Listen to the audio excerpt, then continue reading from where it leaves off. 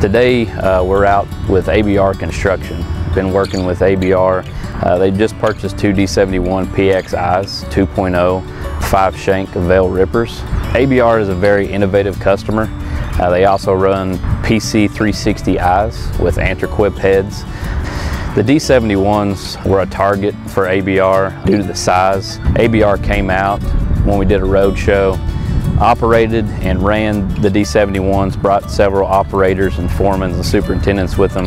About six months later, they placed an order for two D71s 2.0. The three ripper is pretty common on dozers this size, but ABR wanted to go with a five shank ripper. It's not necessarily ripping the rock out, but rather scarifying the ground. You know, when we have rain, uh, like you see out here on the side today, uh, we can actually take all five shanks, put them in the ground, and turn over the material, expose the material to more wind and more sun.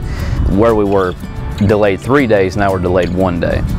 The ripper was set up for a D61 previously, so we got with Vail and uh, Chuck Morawski with uh, Komatsu America, and we got those engineered drawings to provide to Vail, and I think it was a two-week seamless process and we were ready to go. I think that it's going to change the way people think about rippers. So when ABR was looking at the PC360i, they were looking to make the machine as universal as possible. They are the first ones, uh, to my knowledge, in the United States to put the Antraquip head on an eye machine. And what that consisted of was essentially rewriting the algorithm to take those five points of, of recognition and turning them into the AQ5 or AQ4 XL head so we could constantly measure the head and, and the picks. Rock in this area in central Kentucky is consistently between 18 to 25, 28,000 PSI. But when you get down the two to three foot range, the Antraquip head is so much more economical. We're not wasting fuel on digging and cleaning.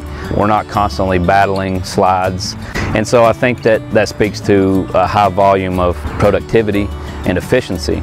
Also on top of that, the 360i aspect, we know when we're at grade. So we're not over digging or over hammering or over uh, excavating the material out. And what that means uh, at the bottom line is uh, it's saving on cost, it's, it's speeding up the process.